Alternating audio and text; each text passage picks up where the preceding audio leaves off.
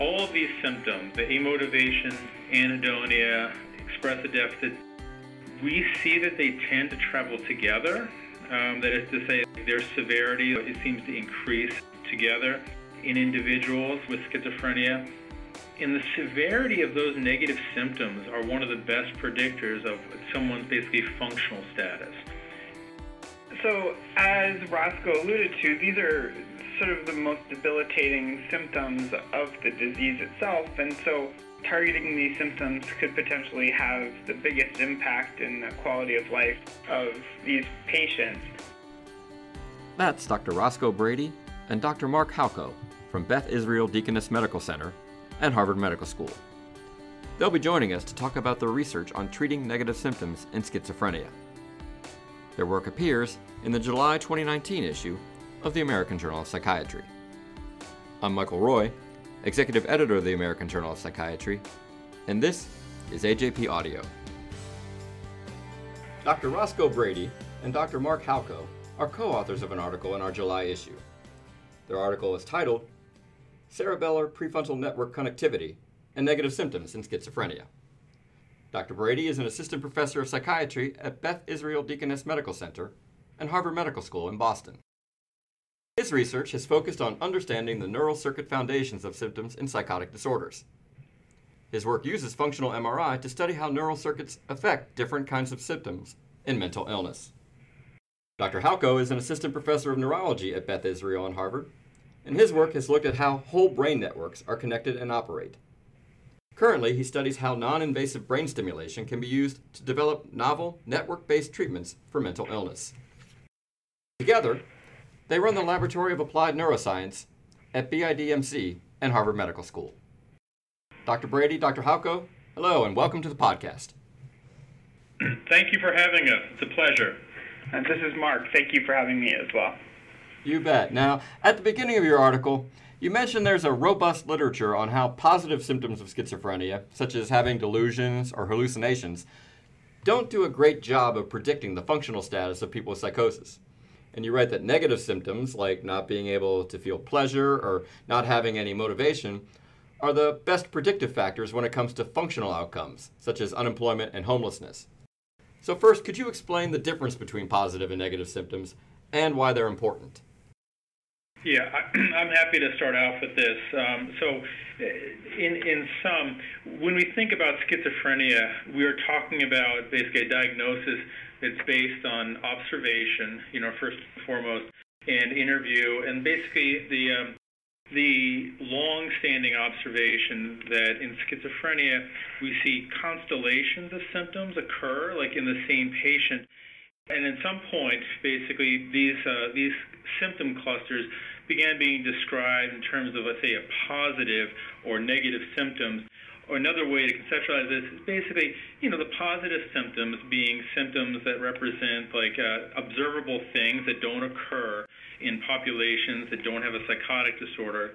And negative symptoms, somewhat broadly being thought of as deficits, that is to say, you know, a loss of normal functioning or a loss of normal behavior or cognition that you see in a population, a healthy comparison population you know, it's the positive symptoms, things like uh, delusional beliefs, auditory hallucinations, thought disorganization, that are the most, I would say, visible, you know, or readily observable symptoms of psychosis. That basically we, when we see these occurring in a person, you know, chronically, we start to think about psychotic disorders like schizophrenia. But it is actually the negative symptoms that basically are the, some of the best predictors of functional status. So to define those terms, when we say negative symptoms, we're talking about a number of things like anhedonia, an inability to experience pleasure from things that should normally be pleasurable, and maybe a very specific deficit in anticipatory anhedonia. So if you ask someone, are you looking forward to doing something this weekend? And they'll say, no, actually, I, you know, I don't have any anticipation of enjoying that. So that'd be an example of anhedonia. And other negative symptoms basically be amotivation, inability to kind of act on plans or ideas that you have some desire to. And finally, expressive deficit, by which I mean nonverbal communication deficits like decreased facial expression, all of these symptoms, the amotivation, anhedonia, expressive deficit, we see that they tend to travel together. Um, that is to say, their severity it seems to increase together in individuals with schizophrenia. And the severity of those negative symptoms are one of the best predictors of someone's basically functional status. Functional status here, I mean, what is the likelihood that this person has uh, is employed?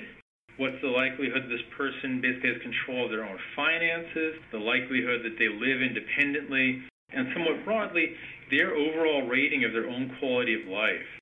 So interestingly enough, it's symptoms that are so visible to the rest of us, like hallucinations and delusional beliefs, those are actually not as uh, strong predictors of functional status as the negative symptoms. If you're concerned with uh, functional outcomes, right, then that really kind of draws your attention to negative symptoms and their severity. Maybe if, to for reference for like the listeners, you know, I'd say the CATIE trial. There is a pretty good paper from that trial, and then and actually a somewhat large body of literature, really pointing out how the negative symptoms seem to be one of the best predictors of functional status. Okay, well, now looking at negative symptoms more deeply, your study aimed to identify the root of negative symptoms in the brain and then to provide treatment in the form of non invasive brain stimulation. So could you talk about why you and your co-authors first wanted to find this circuitry and then to target those regions that were connected to symptoms? Yeah, so as Roscoe alluded to, these are sort of the most debilitating symptoms of the disease itself, and so targeting these symptoms could potentially have the biggest impact in the quality of life of these patients. But also on a sort of secondary note, there isn't a whole lot of available accepted treatments to specifically target negative symptoms. Um, typical antipsychotics are not specifically targeting negative symptoms. And so the excitement for us is to sort of uh, tackle a problem that really has no current solution that's available to a, a clinician. And the way we're thinking about this is that we can we can look at this uh, as, you alluded to. We can look at the brain networks, right? So the hope here is that we can understand um, the pathology of this particular symptom cluster in a way that could help uh, us in the future understand how, how to treat this disease. And this is a relatively important thing to think about. Uh, the way we think about antipsychotic treatments is not was not really found uh, foundationally sort of based in network understanding or even um, brain circuitry, and so our hope is that if we could understand a little bit about the brain circuitry, that we would be able to sort of uh, be a little bit further along the path. And I think Roscoe can help explain a little bit of that too. Yeah, just to just to dovetail on Mark's remarks here. Yeah, I, I am a practicing psychiatrist. I actually teach psychopharmacology to our residency training program. And, and just to state something that I think many, or many of your uh, listeners already know, you know, the treatments that we use in clinic are not actually, no one conceptualizes them as basically correcting an underlying problem, right? So basically the idea that like we use, um, you know, serotonin reuptake inhibitors to treat depression we don't actually think that like you know the heart of depression is basically serotonin deficiency. We use dopamine blocking, you know, dopamine receptor blocking agents basically to treat symptoms of psychosis. But again, like there is not uh, there's not kind of a clear like signature that like what we're doing with these medications is correcting underlying pathophysiology. Really, the origin of these treatments is that at some point, you know, careful observation of animals, right? Laboratory animals, other animals. It basically noticed that these medications had certain behavioral effects on them. And then once these were translated to humans, fortuitously, they actually proved beneficial, they proved helpful, you know, to these diseases. But again, the development of all those treatments, like essentially everything that we do in clinic, it's not based on an understanding of the underlying pathophysiology, right? It's based on like, you know, I would say fortuitous observation. So our hope with this project was let's see if we can actually identify the pathophysiology, see if we can identify the problem, And then instead of looking for something that can help, let's see if we can actually correct the underlying problem. Indeed. And I think to your point, I think it was the previous lack of good information about the treatment of negative symptoms that led to such interest online when we published this article. And so, without further ado, let's get to the results of your study. What did you and your co authors find? Yeah, so basically, this, you know, the, the structure of the paper basically is, uh, how to call it a two step process or two distinct experiments I'm going to talk about the first part, which we in the paper refer to as network identification. Um, in brief, what we did was basically we looked in actual you know, participants with a schizophrenia diagnosis using non-invasive techniques, so using functional magnetic resonance imaging, and basically asked, is there something that we can derive from MRI signals, you know, in the scanner that basically seems to correlate with the severity of negative symptoms, right? Can we find like a brain basis, either an anatomical location or a circuit, It's something that basically seems to travel with the symptom severity? And then basically the follow-up question is, can that actually lead us to something in terms of correcting this deficit, or can that give us a way of understanding how existing treatments can correct this deficit? Maybe the one thing I would highlight here, right? So there there have been many many studies out there using kind of similar techniques, using MRI to try to understand the brain basis of different symptoms in psychotic disorders and other psychiatric diseases. You know, maybe the one kind of flourish, or maybe the one thing I would say that maybe distinguishes something that we did that isn't always done is we really tried to use like a, a truly data-driven approach, right? So I would say once you basically accept, you know, that, okay, we're going to study people with schizophrenia, we're going to use non-invasive imaging, the next step in that basically is to be really agnostic about the data and ask where does symptom severity really, really seem to correlate with a brain circuit, with a brain location, as opposed to walking into this with a preconceived hypothesis about what we should be looking for. Getting into specifics, you observed that more severe negative symptoms were linked to a breakdown in how the prefrontal cortex is connected with the cerebellum. Did this surprise you? And also, what's important to know about these parts of the brain in patients with this serious mental illness? So to that end, we basically we use like a multivariate pattern analysis, which um, really, when we looked at the data, kind of highlighted, you know, a particular brain circuit that really seemed to be I would say, the best predictor in the entire brain of uh, negative symptom severity.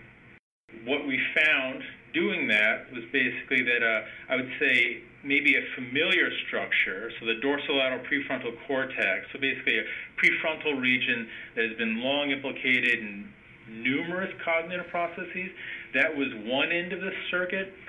But maybe the more surprising thing was basically that it, the other end of the circuit was the cerebellum. So a brain region that historically, you know, many people, including myself previously, you know, have associated the cerebellum with uh, fine control of motor movements. Basically, the cerebellum, when I was in medical school, I was taught the cerebellum is important to, you know, letting you pick up a coffee cup without spilling. It's important to you being able to write your name legibly. But really, the cerebellum's role is for motor control. And so it was a surprise, right, to actually see that communication between the dorsolateral prefrontal cortex and the cerebellum was the best brain predictor of negative symptom severity. Maybe I'll, I'll, pause there and let Mark pick up with uh, the second part of this experiment, the second part of the paper. So I think one of the unique components of this uh, the network that uh, we identified is that this network, uh, prefrontal cortex to cerebellum, the strength of this connectivity varied with the strength of the negative symptoms, such that as negative symptoms got worse, this connectivity was breaking down. And so what the next step that we sort of chose to do in a separate experiment with a separate patient cohort was to stimulate the cerebellum using uh, neuronavigated transcranial magnetic stimulation and measure the functional connectivity before and one week following the TMS. And so in this case, what we were doing is a sort of really rapid protocol for TMS such that patients would come in and for Monday through Friday, they would receive brief uh, intermittent theta burst stimulation that takes about three or four minutes to deliver, um, and they would receive it twice in the day.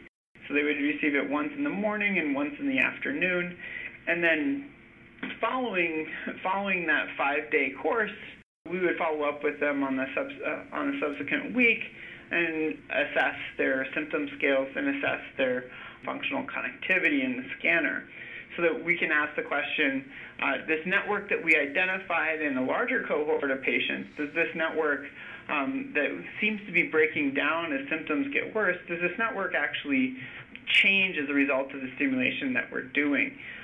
I don't really come from a I come from a neuroimaging background. I don't come from an animal I don't come from an animal background and one of the things that our animal colleagues called this was a rescue of the network and, and such that mm-hmm. the question really isn't um, the question in our mind isn't really uh, does this novel data set provide new network analysis but rather does this uh, does this brain stimulation experiment provide information as to whether or not this is a malleable circuit and whether or not this this the ability of the circuit to change corresponds to negative symptoms. So I'll let sort of Roscoe tell you the final piece of this story because it was pretty exciting when he told me. Yeah, yeah. So, so and maybe yes, and maybe even to put a little bit more, you know, uh, suspense in the narrative here. One thing I do want to highlight, right, as someone who's, you know, I have published a number of imaging papers in the past that were similar to the first part of this kind of paper in the sense that you know we took a number of you know of uh, participants basically asked them questions about symptom severity and did a scan and basically and got a result. That describes like I said many that describes papers that I've written that describes you know a large amount of the psychiatric literature. It was really teaming up with Mark that basically let us do something I would say that, to my mind, is pretty special, or I'd say I feel pretty fortunate we're able to do this, which is really test that finding. And so to kind of highlight this, there are lots and lots and lots of papers out there that basically correlate some brain-based signal with um, observable clinical reality, right? Like how symptomatic someone is. But one thing that you know kind of always has to be in the back of your head is, you know, I'm seeing a correlation between two things. I'm seeing a correlation between what I, you know, what I observe on an interview and what we see in the scanner. But what's the nature of that relationship? Like, did you know, does did the scanner finding, did the circuit break down, did that cause the symptoms? Or is that circuit, the change we're seeing, is that the brain responding to an underlying disease? or is it some you know completely unrelated phenomena? All right, that really, as a, someone who does imaging, it's always in the back of your mind. And so the great thing, right, about working with Mark is basically we actually could try to address that. We could try to, we really could ask the question, if these things, so this circuit that we observe in the MRI and the symptoms that we observe on interview, if these things are causally related, right, then if you change the circuit, then the symptoms should change as well. And so that was it. Like basically that, and then like I said, this is the kind of the magical moment. Is that is exactly what we see. That is this circuit that we observed in part one between the dorsolateral prefrontal cortex and the cerebellum. If you take a separate cohort of participants and you basically measure the circuit at two different time points, you know, a baseline and then after, you know, a week of TMS, the change in that circuit predicts basically almost entirely how different people are pre versus post TMS as far as symptom severity. Really, like I would say, kind of being being consistent with an idea that these things really are causally related. You are looking at a circuit in which the breakdown of the circuit actually gives rise to these symptoms, and in a really exciting way, if you reverse that symptom, that circuit breakdown, if you rescue it, as Mark says, then symptoms get better. Observable clinical reality actually is better off for it in a way that can be explained essentially entirely by circuit change. Um, it was, um, you know, a remarkable thing to see. And I think just to highlight one of the most remarkable parts of this finding is that even though we found a circuit that's distributed throughout the brain, it wasn't changed in, within the whole circuit that we saw this change after doing the stimulation, but it was just in the cerebellar component of this circuit, such that we believed that the targeted neuromodulation we were doing was affecting a specific part of this circuit rather than um, observing just patients change from day to day, from week to week. Um, and it was targeted to this particular network rather than across the whole brain. Okay, so clearly some very exciting and encouraging stuff. So, what other aspects of your study do you feel might be relevant for researchers, clinicians, and other mental health professionals? We think that these tools are available today for clinicians and researchers today, and I think that's the most exciting thing to tell everyone is that you know we're working with tools that are widely available. You know, functional imaging is is available to a number of uh, institutions, and transcranial magnetic stimulation uh, is become has become a mature technology that's available um, to people. So, what's exciting for us is that we can use these tools that are available today to ask questions that patients want want solutions for and families want solutions for today. And so what we're hoping to be able to sort of do is sort of push the boundaries of what's uh, what's available with what we can do. Maybe to highlight that point, Mark is stating, you know, one of one of the one of the really nice things, right, about using, I think what I you know, what we may have termed in the paper as a pair of mature technologies, you know, so resting state functional connectivity, repetitive transcranial magnetic stimulation. Just as Mark says, like basically these tools are not, how to put this, some, uh, you know, bespoke uh, thing that's only available at one institution. Like these are things that are, you know, they've widely been embraced. They are somewhat well understood, and basically they're accessible so that if you if people were encouraged by these results, right, and basically wanted to think about them in a really translational way, you know, this, I would say, we are in a space already where that we can start thinking about what do we need to do to translate this into clinical care? Like, what are the questions we need to address, right? So, and, and you can think of a lot of things that we need to pin down before this moves into like, you know, clinical treatment we need to figure out like what's the right amount, you know, what is the right duration of treatment, trying to figure out who can respond to this and who will not respond. Thinking about questions of how long will this last for an individual. So, you know, we don't know how long this kind of, uh, you know, symptom uh, amelioration lasts. But all of those questions, they can be addressed using kind of the skills and technologies that we that are widespread today. None of those questions rely, say, another leap in our understanding. None of those questions need, you know, some other kind of barrier to be broken. We can really start addressing those in a translational research way sooner rather than later. And I, I find that actually pretty exciting and compelling. I think just to sort of complete the circuit here, I think we think that not just these tools are necessary, right? That you know, in finding a circuit that might be related to negative symptoms, we think uh, this could be valuable to other other investigators looking at certain negative symptom change across a wide uh, a number of other modalities, right? So it's not necessarily uh, dependent on using non-invasive brain stimulation as we're doing here, but rather on changing a circuit that we think is associated with negative symptoms. If I would love to find out if other investigators are able to change a circuit, this circuit in, an, in, in a different way, it would be exciting for us uh, to see to see happen. Yeah, yeah, and just just to highlight that last point, I mean, it's you know we we've chosen to use a couple approaches here because they've matured to the point where we have, I'd say, we have an understanding of like what we're measuring, some understanding of what we're measuring.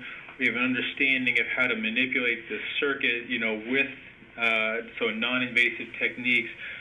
But you know, there are all sorts of technologies that are really that are on the not so distant horizon. you know, initiatives like like the Brain Initiative and so on that are you know explicitly uh, funding a lot of different approaches to look at how can we you know, how can we manipulate, you know, the brain? How can we manipulate brain circuits? How can we find malleable circuits for the purposes of therapeutic change? It really, um, you know, the mind boggles at thinking about some of the things we'll be able to do in the future. And it, you can conceptualize a future where, you know, where we have, how to put this, identified a circuit for change by TMS, as we've done in the paper, or identified a circuit for change via any number of other techniques, just as Mark said. Now, I'm going to ask you both to go beyond your study and tell us what you think is on the horizon for your line of research and in clinical care. I think the what we're hoping is that this this type of study uh, brings up a novel approach to to understanding psychotic disorder, psychiatric disorders where we're identifying these circuits and watching them change rather than making uh, treatment attempts and then looking at symptom outcomes. And the hope is is that uh, these networks can sort of serve as intermediary steps to sort of tracking uh, along along with patients, and also uh, we, we're hoping that this could be potentially a target that will track along with other symptoms. So not necessarily this particular circuit, but maybe other circuits where perhaps patient response can be sort of viewed along the way, um, but not necessarily mandatory. And so that will sort of help us understand um, how we could potentially treat patients, how we can change brain circuits, and how those changes in brain circuits could lead to potential improvement in, in therapeutic outcomes. I think one important thing to sort of say, state about this is that this the future is really bright right now for neuroscience research as a whole. The advent of the Brain Initiative sort of pushing pushing us to sort of develop new tools and new technologies sort of means that uh, clinicians are going to have access access to new ways to think about the brain. And and one would hope that in the future we'll be able to identify these tools and, and, and really translate them into practice or even translate or, or maybe even just short term translate them into trial opportunities. So I think it's particularly exciting it's a particularly exciting time to be thinking about mental illness because we might actually have um, some tractable approaches available that can change how we think about um, treatment as a whole. You know, I, I would just like to express, you know, our appreciation for the people who participated in these studies. So this is all, you know, human participant research that, mm-hmm. you know, required a lot of people to volunteer, you know, their time and uh, work with us to kind of accomplish these trials. Um, and, and we're just very grateful for that because this is, um, you know, we, we could not have, it may be an obvious thing to say, but we could not have done this without a lot of people uh, volunteering, right, to come participate in this research. And we're very grateful for that because this endeavor, really, you know, everything that we're doing going forward, it, it similarly, you know, relies on people, you know, seeing a poster, seeing a flyer, seeing an ad, and putting their faith in us that basically that if we work together, we can do so in a safe way and actually might help someone else out down the road. Dr. Roscoe Brady and Dr. Mark Halko, co authors of an article in our July issue on treating negative symptoms in schizophrenia. Thank you both for speaking with us. Thank you. Thank you for this opportunity to share our work. This concludes this episode of AJP Audio. You can rate and review the podcast on iTunes, Stitcher, or wherever you listen to it. Please also visit our website, aj.psychiatryonline.org, to check out trending articles, find CME courses, and watch videos highlighting some of our other articles. Be sure to check out two other podcasts from APA Publishing. Psychiatry Unbound, our newest podcast, is APA Publishing's Books podcast. It's hosted by Dr. Laura Roberts, editor in chief of APA Books you can hear the voices behind the most prominent scholarship in the field of psychiatry today. Also, check out From Pages to Practice, which reviews the latest research published in the journal Psychiatric Services. It's hosted by Dr. Lisa Dixon, editor in chief of the journal, along with Dr. Josh Berezin. You can find these podcasts on Apple Podcast, Spotify, Google Play, or on the podcast page of the American Psychiatric Association's website. Next month in the podcast, we'll talk with Elizabeth Binder from the Max Planck Institute of Psychiatry in Munich and Emory University in Atlanta about her research on mental health development in children and adolescents. We hope you'll join us too. Thank you for listening.